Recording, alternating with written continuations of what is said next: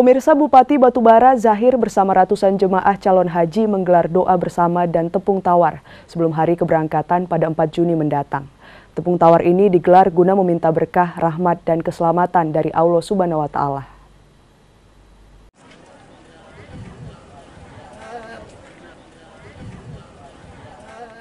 Sebanyak 287 jemaah calon haji kloter 13 tahun 1444 Hijriah atau 2023 Masehi asal Batubara, Sumatera Utara melakukan doa bersama dan sekaligus ditepung tawari oleh Bupati Batubara Zahir, didampingi sang istri Maya Indria Sari Zahir dan Ketua Kadin Batubara Oka Faizal di Pendopo Zahir dan Kepala Desa Pulau Sejuk Batubara. Acara tepung tawar ini diawali dengan pembacaan ayat suci Al-Quran dan doa bersama guna mendapat rahmat dan berkah serta keselamatan dan perlindungan dari Sang Maha Pencipta Allah Subhanahu wa Ta'ala.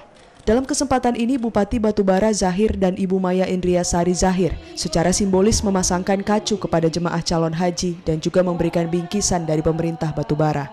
Dalam arahannya, Zahir menyebutkan bahwasannya ibadah haji merupakan rukun Islam yang kelima dan hukumnya wajib dikerjakan bagi orang yang mampu.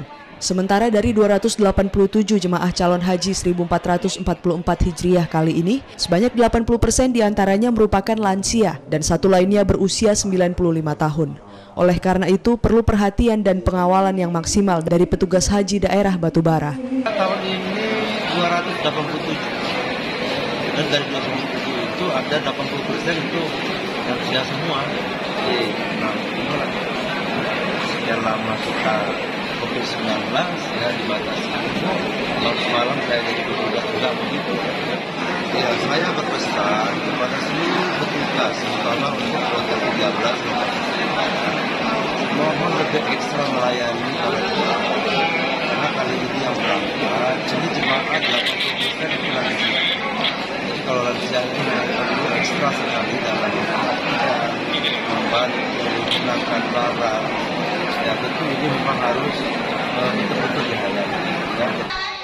Zahir berharap semoga seluruh jemaah calon haji yang akan berangkat senantiasa selalu dalam lindungan Allah Subhanahu wa taala.